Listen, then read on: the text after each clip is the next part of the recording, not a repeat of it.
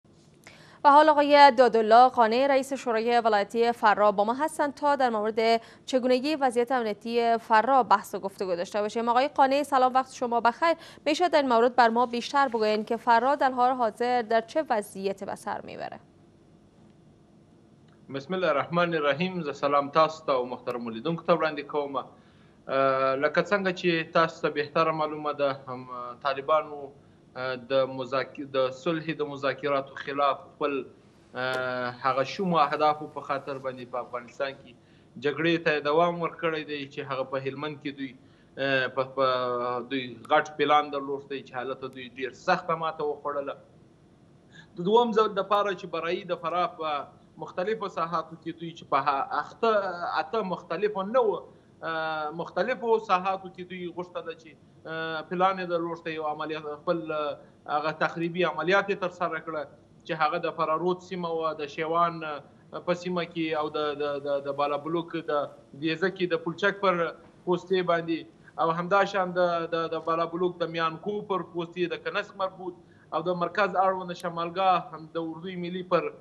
بیز باندې دوی عملیات ترسره کړه او همدا شان دوی د جوین پر ولسوالۍ باندې پلان د حملې درلوښت دی، د اناردرې پر ولسوالي یې عملاً جنګ شروع و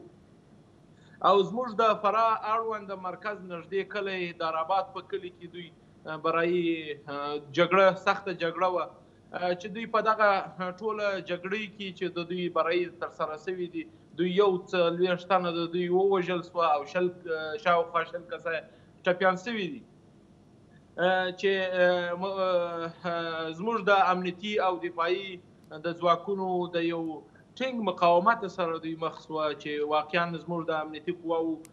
د دغه د دوی دغه سرښندنه او د دوی دغه اتلولي او د دوی دغه ټینګ عزم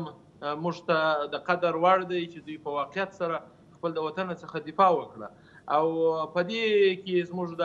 پیاده قوتونو سره هوایي قوتونه هم منسجم و چې دوی په دغه په دغه عملیاتو کې د هوایي قوتونو ټینګ حمایت ورسره زموږ په مجموع کې د فرا وضعیت تاسو وینئ چې مخالفین خپل هدف لري زموږ هیله دا ده چې مرکزی حکومت په خاصه توګه فرا ته توجه وکړي چې فراه ولایت یو سرنوشت ساز او مهمه اراضي ده چې دغه اراضي ته چې د منطقې د استخباراتو پلان هم دا دی چې دغه اراضي د مخالفینو په نفع تمامه بله ناامنی ها از چه زمانی در فراه تا کنون ادامه داره؟ د فراه جګړه د ډېر مودې را د څو کلونو را په دې خوا د فراه په کې جګړه روانه ده. متاسفانه زموږ د ولسونو امیدونه هم دغه وه چې دغه صلح زموږ ولسونو ته یو امید وه چې هغه د دوحې او د قطر مذاکرات وکړي چې موږ هیله دا وه چې دواړه طرفه خصوصا مخالفین و دیو ته و د خلکو و دغه غو چه آرمان دی آرزو یې ده و دی ته دا براورده سی او دوی د جګړې څخه لاس واخی چه متاسفانه الله نور هم دوی و جګړې ته دوام ورکړی دی زه نه پوهیږم چه دا طالب په کوم عنوان باندې اوس هم دی خپل جګړه ګرمه ساتی چه یو د یو مور په بطن کي اولاد دی هغه دوی په مرمۍ باندي هغه وژني هغه د دوی مرمي حسابت ورباندي کوي چي یو یو حامله مور په د دوی څخه په دغه جګړې څخه لا هم مسؤونه نه ده او په بل اړخ کي چي برايي شپه زموږ د داراباد په کلي کي معلم او متعلم چي یو عادي اشخاص دي درې وړونه دوی په ډیر ظالمانه او وحشیانه توګه د کلي څخه دوی په د مور او د فامیل مخ ته په شهادت رسوي او دوی د ټرامپ د صحت لپاره دعا کوي نو ته خو ولس په دې باندې بهتره پوهیږي زه بهتره دا ده دوی دوی څخه مو نور دې ځانونه نه شرمي د جهاد او د اسلام تر نامه دې نور په خلګه نه غولوي پر خلګو باندې دې ظلم او وحشت او دهشت نه روا کوي دا ولس دې نور د دغه حالت راوباسي نور به ولس د دوی په مقابل کې به قیام کوي که دوی په دغسې منوال باندې په دغسې حالاتو باندې د اسلام او د بیرغ او د کلمه لا اله الا الله محمد رسول الله څخه په استفادې په سوء استفادې سره دوی خلک وژني دا به زه دوی ته په تاریخ کې به د دوی نوم به په یو ډیره بده یادیږي او دغه فرصت چې نن نړي او منطقه ودې ته وفاداره شوې ده چې افغانستان د جنګ حل لاره نه لري افغانستان کې به صلح راځي افغانستان کې به د صلحې د حل لاره یې صلح ده نو دوی دې د صلحې پرځای باندې جګړه نه انتخابوي، که جګړه انتخاب کړي دغسې چې برای دوی خپل پشومو اهدافو ته ونه رسېدل او دوی هغه خپل جزا یې ولیدله نور به یې هم ویني زموږ لکه څنګه چې پرون زه او والي صاحب زموږ د کمربندي پوستو ته حتی لیرو پوستو ته موږ سفر درلوښ دی تاسې په باور په خدای وکړئ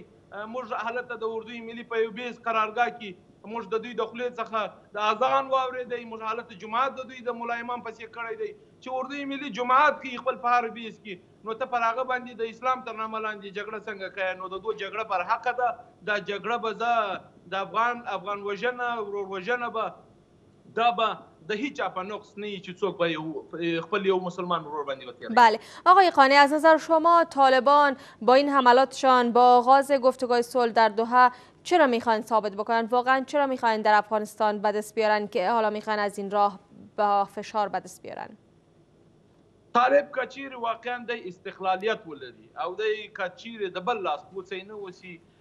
هغه اسمان دی دا ځمکه ده خپل د افغان ورور سره د افغانستان د خلکو موضوع هره معضله چې سوې ده هغه د سپینږرو او د هغه د جرګو د حل د د لارې حل سوې ده که چیرې دوی استقلالیت ولري زه تاته اطمینان درکوم زه هغه څوک وم چې په لوی جرګي کې ما د طالبانو د 15000 کسانو د آزادولو اولين ږغ ما پورته کړی دی ولی چی ما د طالب په مقابل کی حتی قربانی هم ورکړی ده مګر موږ ویل چی د افغانستان صلح دی راسی په افغانستان کی دی ورور وژنه کمه سی د تاوان مخ چی هر وخت ونیسی هغه وخت ګټه ده د وینی مخ چی هره ورځ ونیسی هغه وخت ګټه ده متاسفانه دوی استقلالیت نلری دوی زموږ جنګ بیا هم د هغه د ډیورن خبره به یی زموږ جنګ بیا هم د پاکستان د آیسای خبره ده زموږ جنګ بیا هم د د ایران د سپاه پاسداران د خبره ده چې د امریکې سره د دوی مشکل دی نو که چیرې زموږ مشکل په ولړه سره کې د نورو سره او بیا جنګ جګړه دی پر افغانانو روا وسی نو طالب دی هم دغه مسایلو ته په ډیره زیرکتیا او د وطن پالۍ لپاره د وطن د د حب او محبت لپاره دی دوی له سر په ګریوان کې کې خپل د ولسونو د سره دي مشوره وکړي نه د آی سای د پاکستان سره نه د ایران د سپای پاسدارانو سره مشوره دي خپل د سپینږری د یو جهادي رهبر چې یو څوک یو سپینږری چې په کلی کې دغه د افغانستان د څلوېښت کلنۍ تجربه لري د هغه څخه دي دغه مشوره واخلي زه تاسو ته اطمینان درکوم چې په افغانستان کې به صلح راځي او افغانستان دا اوس تر هر څه وخت پوري اوس وصلح ته فضا جوړه ده افغانان د جنگ څخه ستړي دي دا هغه جنگي ماشين چې نن طالب رهبران په زور دوی و جنگ ته واداروي هغه د جنگ حوصله نه لري هغه دا اوس د کلو د بانډو سره د خلکو سره تماس لرم دغه دغه ځوانان دغه کشران چې دوی نن و جنگ ته په زور راستي دا د جګړې طاقت طاقت نور نه لري دا ستړي دي د جګړې څخه